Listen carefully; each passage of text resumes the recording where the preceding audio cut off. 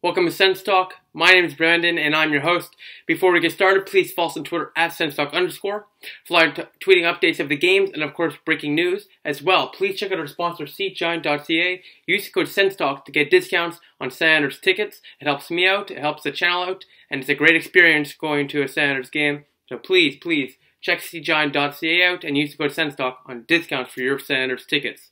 Now, today's game was a special game. It's a part of the NHL Global Series. Tonight's game was in Stockholm, Sweden. one of two games the Senators and Colorado Avalanche will play in Sweden. The next game will be tomorrow at, I believe, 1 or 2 o'clock in the afternoon. But right now, Sens are playing the Avalanche. Crazy, crazy atmosphere. Unique atmosphere because Sweden uh, is not like North America. Um, it's a different type of hockey atmosphere. They they're much more louder, in my opinion, in Europe. So it's a cool crowd. It's cool to see the amount of Sens fans there are in uh, Europe, especially Sweden. A lot of Sens fans in tonight's game. Let's get it started. To the first period we go. Eight minutes in, Nail Yakupov shoots one past Anderson on the power play, assisted by Alex Kerfoot and Colin Wilson, the former Pittsburgh Penguin. 1 nothing Avs. But 20 seconds later, a nice pass from Hoffman finds Freddie Claesson, who slams it bar down past Semyon Varlamov. His first goal of the year. He does the hands up Selly in his hometown of Stockholm. He scores his first goal of the season, 1 1 tie, assisted by Hoffman and the other Swede, Erik Karlsson, the captain. Seven minutes later, Mark Stone deflects a shot from another Swede, Johnny Oduya, 2-1 Sanders. Chris Wideman gets a secondary assist. Oduya gets an assist. The, the Swedish man, uh, Johnny Oduya gets his first assist, and Stone with his 10th of the year, 2-1 Ottawa. To the second period we go, nine minutes in. Alex Kerfoot, he gets a goal, 2-2 tie on a couple couple deflections. Anderson had no chance. Uh, Blake Comeau and Girard, who was a part of the Duchene trade, 2-2 tie. Kerfoot sixth of the year for the NCAA uh, free agency uh, prospect. Four minutes later, though, a shot on net from Dion Phaneuf as Varlamov stops it, but the puck gets loose, and Di Domenico is there to jam in his third of the year, and all of a sudden, Ottawa is back on the top. It's 3-2 Ottawa, assisted by Dion Phaneuf and Tom Pyatt. Chris Domenico really proving to the doubters, to the scouts, and to the Sanders organization that he belongs in the National Hockey League. To the third period we go. Sanders only allowing four or five shots after the first period for the Avalanche, and all of a sudden, a bad breakdown. Smith and Duchene collide. MacKinnon's wide open. He fans on it on the shot, but it just goes in. Ceci doesn't get to McKinnon. Tie game 3 3. Rantanen and Landeskog with the assists, and the Avalanche will force overtime both teams get a point, and as usual, the Sens will get at least a point in the first game in a week for the Sanders, but a point's a point. Let's see what they can do in overtime. Less than a minute in, after a couple chances for Duchene and Hoffman, as Hoffman, Duchene, and Karlsson started overtime, which is a deadly starting lineup for overtime. And uh, Duchene, let's before we talk about the overtime or shootout result, um, Duchene, it was his first game as an Ottawa Sander. He looked a little bit rusty uh, adjusting to a new team, a little bit nervous, a little bit drained and emotionally tired. It's been a week since the last game they played. His first game was against his former team, and it was in a new surroundings in Sweden. So a lot of uniqueness here.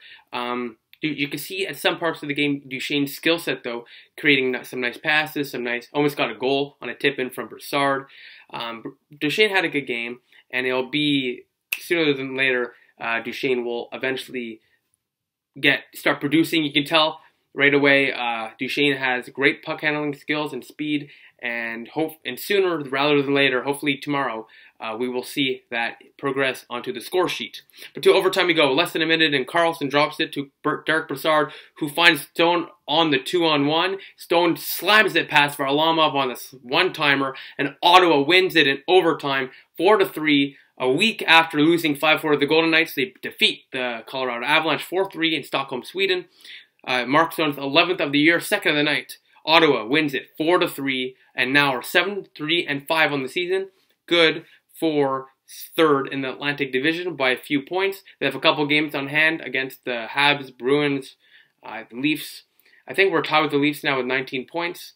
Um, and we have a couple games in hand. So Sanders is getting the points, points, points and Sens win 4-3. So it's a good game all around. Um, they controlled the pace of the game, and really, this game should not have even went to overtime. If it wasn't for that bad mistake at the end, Sanders probably would have won this in regulation, bearing a, a different series of events, but the way the game was progressing, Ottawa had control of the game, but as usual, collapsed in the third.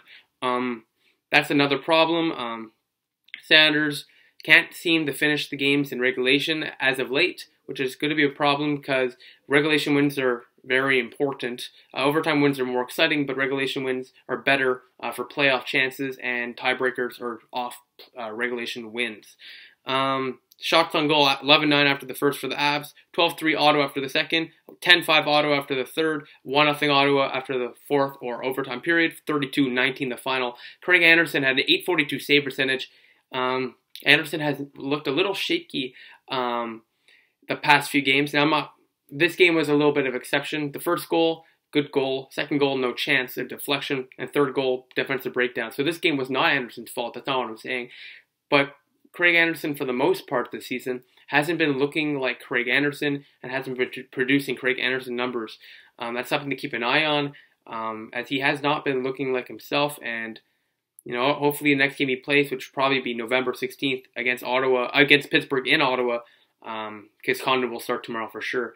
Um, hopefully he can start a turnaround because I believe he has a, 900, a sub 900 save percentage right now, and that's, those are not Craig Anderson numbers. Uh, hopefully we'll see that improve. But the team stats right now are 34 face-off wins for the Sanders, 63%. Colorado 27, 20, sorry, 37. Ottawa was 0 for 2 on the power play, um, allowed a penalty shot on one of their uh, power plays. Nieto missed high on the glove side of Anderson. And the Colorado Avalanche went 1 for 2. Their first goal of the game, Yakupov was on the power play. Hits were 18 26 in favor of the uh, Colorado Avalanche, shots 32 19. The third star of the game and the Sens Talk YouTube star of the game, Fredrik Claesson. He was spectacular tonight, getting a few chances, almost winning the game in the final minute with a wraparound in his hometown of Stockholm, Sweden, playing his first National Hockey League game in front of his uh, family in Sweden, first time, and tomorrow will probably be his last time ever playing in Sweden, in his hometown, Stockholm. He's a star. He really came to the occasion. His first goal of the season was a beauty. He's the Sens Talk YouTube star of the night, and easily the, one of the best, the best defensemen on the Sens tonight. Second star was from the Avalanche, Alexander Kerfoot, with the goal and assist, plus one rating, 15 minutes on the ice. And the first star of the game, I would have given him the star, but Claesson was too good not to give to. Mark Stone with two goals, a plus two rating, 22 minutes on the ice. Mark Stone continues to be one of the hottest uh, point per player so far in the National Hockey League. Stone is on fire, and the Sens win 4 to 3. The game details the Sanders played in Stockholm, Sweden, like I've said multiple times, and the Ericsson Globe, which is a cool kind of arena where it's like a globe. It looks like like like a planet uh, from the outside. Uh, the attendance was just under 14,000. Um, I don't know if that's a sellout or not. Apparently it is. I saw that on Twitter, but some people are also saying it's not. I don't know. I don't care. Uh, there was a lot of empty seats in the 200s, but it's not a Sens home game, so I could really care less. Um, the crowd, there was a lot of Sens fans there. That's all I care about, and as well the Sens win, which is all I care about as well. So besides that, Sens win four to three in overtime. Get the two points, 19 points on the season, 735 so far on the season. Thank you all for watching. Please follow us on Twitter at SensTalk underscore for live stream updates of the games and of course breaking news.